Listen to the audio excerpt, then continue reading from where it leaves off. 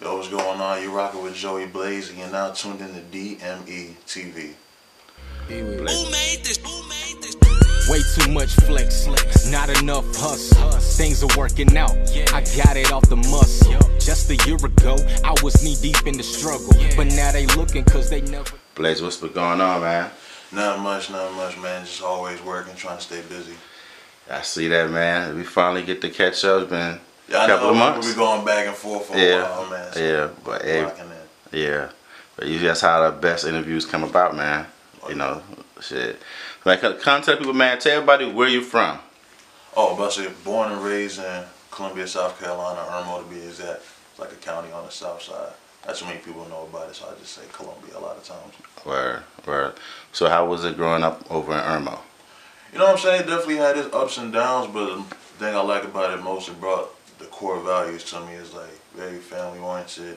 Taught me like the grind, the hustle. That's where I get my work ethic from. That's why I go so hard. It's just the environment will put that in you. So I definitely appreciate Irmo for that. Where, where? That's what's up, man. So coming out of Columbia, um, how have you seen the music, the music scene grow over, you know, the last three to five years? I've definitely seen it growing a lot from the time I started writing. I think Boss G was popping at the time. Like that's when, you know what I'm saying, everybody was starting to pay attention. But every year I've seen like a new artist come out, so it's definitely in the right direction. We just need somebody to put that it to open that door, then the rest will follow. It's definitely growing on. Okay. So who was like one of your favorite artists out of the, out of let's say Columbia area? Columbia area, I would definitely say I was rocking with Boss G a lot 'cause I know uh, with DJ Ty, we was real like cool growing up. So he was Okay. definitely like an influence as far as like the Columbia scene. So pay close attention to him. Okay, okay, that's what's up. So go ahead and tell the people, man. I, I- know you got a new project. You're working on a new project. Tell us, gonna tell us about that project. Oh yeah, most definitely. Project I've been working on for quite some time now. It's called Time Flies. It's definitely will actually be my first official project. It's real personal, real deep. I want to make sure I came correct the first time. It's personal. I put my whole life into this project. is has something for everybody on there. If you've been through something as far as losing somebody, as far as a relationship, family member, or job, or just being like homeless, like you definitely relate to this. It's something for everybody. So. Okay, okay. So you, you make that timeless music then. Oh yeah, that's that's what I try to do every time I hit the booth, man. Okay. So let, let's let's talk about because we don't we don't talk about this enough. Let's talk about your process of when you picking beats or getting beats punched out. Take take me through the process. The process for me, um, I usually like I write a lot, and I don't try to necessarily try to mesh the lyrics with the beat. But my beat selection, I really go with the vibe. I know um, I don't really pay attention to like the drums. Like it really don't have to be hard hitting for me. Like I'd rather for you to feel my words than the actual beat. But I got good producers on my team to help me paint Okay. that picture, so a hard beat never never hurts. Okay. Na- name those producers for us. Oh, um, my three in-house producers, my man Jay Block, born and raised, um, Irmo with me. We've been tight for like since kindergarten. So him, um, my man Young Crip, he's um out of Chicago. He's done like a lot of um work as far as the drill scene. Then my man Black Assassin, he's in uh, Durham, North Carolina. So those are kind of like my three go-to guys. They paint the sound for me. Okay. So you say you do a lot of writing. So you, do you take that hook and have them punch the beat out to it, or I mean, how how does that yeah, work? you? um, because before they even send me anything, I'll either call them or like FaceTime them, like, yo, let me rap this verse to you. Mm-hmm. And then after um, that, they'll be like, I think I got the perfect thing. And then kind of like mesh it together. If I need them to slow it down and speed it up, they'll just make it tailor fit for me. Okay. So I mean, what are what are what you expecting the people to take from this EP? Oh, feel the, the pain, like the energy, because it's, it's a roller coaster, man. It gets from like sad to happy, then just like every emotion you can go through. It's like Mm-hmm. after you're done listening to the project, I just want you want them to feel like, wow, that was amazing. Like it definitely has replay value in my opinion. So Okay. it's gonna definitely be one of the better projects that's been on in a while. Okay. So I mean, w- when do you plan on releasing the EP? Um, that's still up in the air. We Okay. definitely aiming towards August. We're just waiting on some paperwork to get back. Um, first video for She Knows is coming out in the next couple of weeks. So Okay. we're just trying to line all our ducks up so we can do it right. You know what I'm saying? Okay. First impression is everything with everybody. How, how many singles you gonna release from this project? Um, I'm, I'm aiming for three. I mean, like every track can be used as a single, but I definitely got three for sure. And then okay. after we get those three popping, that's where we're gonna probably drop the full thing. Okay, that's that sound like the magic number, man. Two and three. Yeah. I think a lot of people dropping two or three singles and really pushing it. Um, what what what? How long are you planning on pushing your first single? First single, I'm I'm aiming for like 90 days. Okay. Like, you know, I'm trying to make sure it gets like everywhere. I don't want to just drop it. You know what I'm saying? For like one week, don't get the response I want, then drop another. Yeah. One. I'm gonna definitely ride it out. You can ride it out, push it. Yeah, that's that's definitely the right thing to do, man. 90 days is, from what you know, I've been told 90 days is is you know is that that number. You definitely need to nothing less than 90 days, you know what I'm saying? Right, because the first rollout I had, um, back when I was just dropping joints on SoundCloud, I would like post a song up, like tag everybody and get the response I want, so I was like, right. on to the next. Right. But if I would have stuck with it, maybe it would have got somewhere, so that's why I'm going to just right. give it like three months. Right, right, right. Okay. So before your EP, what other projects have you released that people can go back and check and look on? You released any um, mixtapes?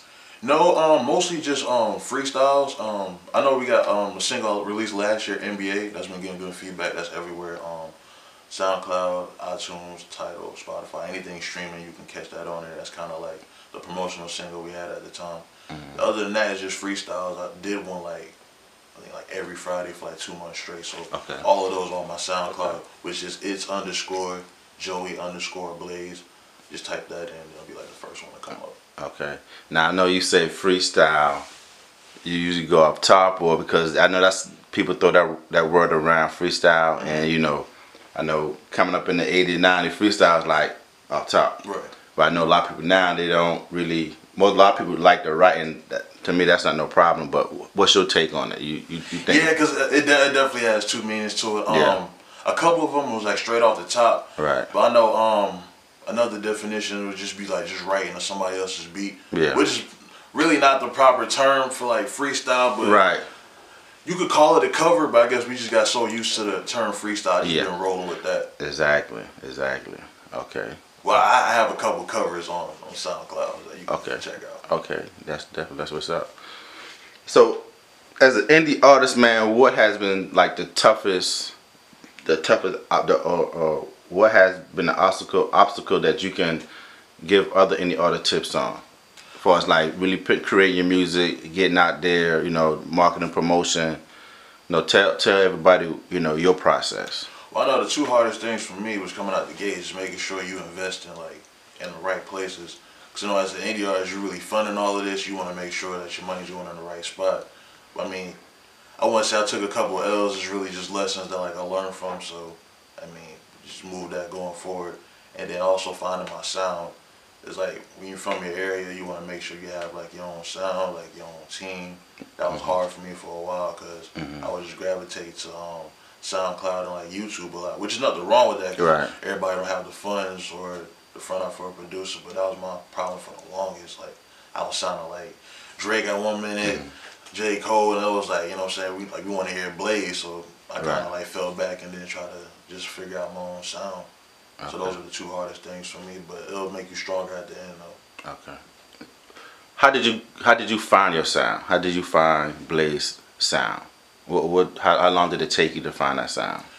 Um, it really it took me like a couple years, like honestly, because um, what I would do, which I like I snapped out, like I would listen to everything that came out at the time. My favorite artist dropped the album, I would like just play the hell out of that for a week, and then you don't realize it, but like subconsciously, like when you start writing music after you listen to like a project after a while, you'll start to sound like them. So after a while, I was just tuning everything out, listening to other genres, like whether it was like country or pop. I like, let me just stay out of hip hop for a while. That way, I can just kind of like create my own sound. Okay. I didn't experiment with different beats. Like I finally got like like my sound and once he sent me like that magical pack, that's when I did NBA. I just kind of went in and just did my own thing. I think I took a break from listening to mainstream for like six months, and okay. probably the best decision I ever made. Exactly. I, I think a lot of people, man, you listen to mainstream artists, it, it definitely can make you start, like you said, sounding like them. Mm-hmm. What you really need to find your own sound. And even with Cyclone, we already have our own sound. You know what I'm saying? Every even Columbia, you know what I'm saying? Each part of Columbia has its own sound, you know what I'm saying? So, yeah, exactly, you know what I'm saying? Even where I'm from, everybody got their own sound, everybody got their own flow. The beats they like to, you know, get on and, and ride. Everybody got their own thing. I think that's one of the dopest thing about South Carolina, man. We really, and North Carolina, Carolina's period. Tell you, as, soon, as soon as we get in, like it's, it's over, man. Like, yeah. Both sides gonna eat, man. Yeah. So, for future releases and stuff, man, let, us talk about features and collabs. Who who you want to see? Who do you want to get on the track with? So as far as like Carolinas or just I mean in anybody in general, man. As far as um the Carolinas, I would love to work with um Rennie. Okay. Like she just got signed and everything. I would love to like. I think we could make something dope. Okay. Um, not sure if you're familiar um, with the baby, baby Jesus. Yeah. Oh yeah. Oh yeah. yeah. I was. I would. The baby hard man. Yeah. I was. I would love to work with him. As far as mainstream, um, Wale. Okay. I feel like he don't get the respect like he gets. Like if we make something dope that I can bring everybody from Carolina on him. Um, J Cole, Frank Ocean, Miguel, and um, another um, North Carolina artist, Jay Way Sosa. Like I would love to work with him too. Okay, I think I heard I heard about yeah, him. Yeah, say he's yeah. a, he he got that that crazy lingo up there. Everybody mm-hmm. everybody know who he is, but okay, that's definitely like for future projects. So okay, hey man, that's that's. That's dope right there, man. So this is a dope couple of you know artists you name. You know, I, I rock with all of them, man. So you know, you definitely want to get that Rennie that Rennie joint, man, for, yeah. for for the price go up, man. for the price go up, yeah. So definitely, man. So um, let, us let's talk about um, let's talk about um shows. You got any upcoming shows? Oh yeah, um, we're gonna be in Blue in the Vista. I believe it's the either the twentieth or the twenty second. Um, they got a showcase at Blue. Yeah. And it's going um, I know QC and CMG. Everybody gonna be in the building. We definitely gonna rock out in there. Mm-hmm. Um, we got a couple other shows coming up in North Carolina. Hip Hop Festival that's gonna be in June, June 22nd. In Raleigh? Yeah, yeah. I, be there. man, I might be seeing you a lot, man. You know what I'm saying? Them two events DME TV gonna be pulling up at, man. Then on uh, the Carolina uh, Music Awards, it's gonna be on in Charlotte in July. We're gonna be in there. Okay. A3C, like we definitely like aiming like towards a lot. Man, we be seeing each other a lot then. Tell you, I'm, I'm gonna hit you up whenever like I'm at an event. You probably gonna be like, I'm down the street. Like, That's what's up, man. That's what's all about, man. Networking, man. A lot of artists don't take take that seriously. So I mean, how do you go about networking? Or you, like even if I'm not performing, like I'll definitely like just go there, just show my support.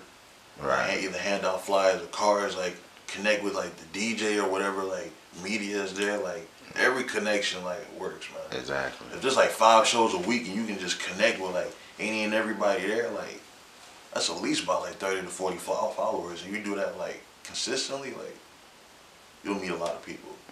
That's real, man. Networking definitely is the key, and you can go a lot, lot, lot of places faster if you know how to network and come out and support. You know what I'm saying? Like even coming out, like you say, you go to other people's event if you're not performing. You know what I'm saying? A lot of artists miss that. They don't understand that. So definitely like glad you you mentioned that. That's that's because I, I, was like that at first. I'm like, if I'm not performing, I'm not going. But then right. it's like you would see like whatever footage they got, and I was like, it was like alive. Oh, I didn't know he was gonna be Tell there. What like, were your, who who influenced you? What were your influences in, in, in, music, man? How you got started? Well, um, growing up, um, pops being from Brooklyn, he just like just played nothing but '90s like New York rap. So it was like as far as from like Run DMC to Wu Tang, Method and Red, Jay Z, Biggie. Like I grew up like on all of that. Okay. So that like I really appreciate that now because it's like I kind of like put that energy and lyricism in my music. So, but I would definitely say um, who really like crafted my sound would be Jay Z, Kanye. You know, like College Dropout was the first album I bought, so mm-hmm. I kind of base like all most of my music around him. He paved the way for a lot of artists like me. Like just like a regular guy, you can just do you instead of like fitting into what the industry wants you to be. You can kind of just do your own thing. All right, all right. Tell me how you feel with that SC Top 20 list. I know you've seen it. Huh? Oh yeah, yeah, I, I definitely seen the it. uproar, uproar about that. So. I mean, honestly, it's like I knew like a couple people off the list. I didn't know everybody. Right. It's probably like ignorant on my part. So like I did some research, and it's like whoever was on that list, like they got like a following, and it's like people know them. They was talking. I know a lot of people were salty. I mean, mm-hmm. you gotta just keep working. Like just get your your, your game up. You know, you eventually be on that list. That's the way I took it. It was like not a slap in the face and made me want to go harder. So hopefully they can recognize me next time that poll comes around. Hopefully I'll be on there. Definitely, man. I know we're gonna see you on there soon, man. I know you're gonna uh, grind it out. You know what I'm saying? But it was crazy the comments I seen on that list. It was like, oh, everybody's trash. I don't know any of them who makes the list. And I was like, that's the wrong way to look at it. That's why that crab in a barrel mentality. That's why it's been so long for anybody to get on. Like we just gotta stick together. Yeah, that's true, man. I I, I knew a lot of people in that list, mm-hmm. and and that's from different area codes. I seen who who did I recognize on there? Um, Young Neek, uh, Rennie, Mo, Frank De Niro, and those like a couple other people. Those are the ones like I knew off top. So right. the rest of them, I just researched. But everybody got pretty, pretty dope music, man. Everybody got right. their own sound. Mm-hmm. So, like, who who was one person that you researched and and found out how dope they were? See if I am pronouncing his name right. That's uh, Mr. Fab. I believe he was in the top five. Mister. Yeah. Yeah, Mister from Columbia. Yeah, some um, some dope music. Yeah.